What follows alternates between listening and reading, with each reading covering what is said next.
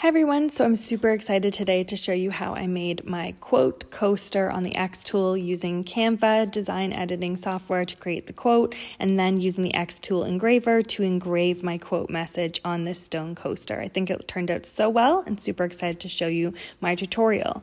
So I just went to canva.com. Uh, I find this graphic design uh, website to be super easy to use and it's free. Um, I have the premium membership which allows me some more fonts and specialized graphics, but the free membership is quite good too. So, what I did is I just created a text box for each of the words in my quote, and then I chose a font specific to each word. I wanted to mix it up. I had some nice script fonts and then also some kind of chunkier, bubblier fonts. And um, you can see that you just simply drag on the edges of the text box to make the font bigger. So it's really easy to uh, quickly design a custom, uh, good looking quote. And then, of course, I wanted to add just a little bit of um, like a picture, an extra design element to make my quote look good.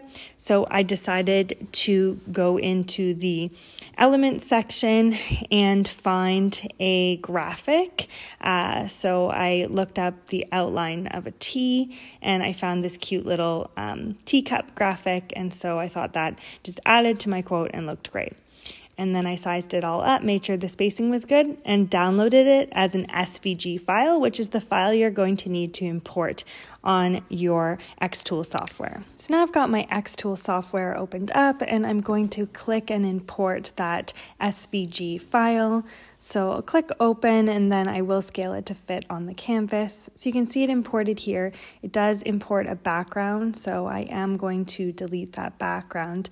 You do have to click ungroup in the side there to ungroup all of the uh, items and then you can delete the background and now I just have the outline, uh, which is what I'm looking for. I like to see how it's going to fit on my coaster, so I just created a rectangle uh, square here, and I'm going to set the millimeters to 100 millimeter by 100 millimeter, which is the uh, size of the coaster. I just want to visualize how my quote's going to look on the size of the coaster. And so I'm actually pretty happy with the scale of it right now. I don't even think I need to make any adjustments, but I could resize or scale if I needed based on that. Then I just delete that square because I don't actually want to engrave it. Then what I'm going to do is I'm going to go over to processing and I'm going to choose my material and it's the stone coaster that is part of um, the xTool set. So the nice thing about using xTool's materials is that it's going to then create the exact right settings for you super easy without you even having to do anything. So now I can go and check and see that it's set to engrave.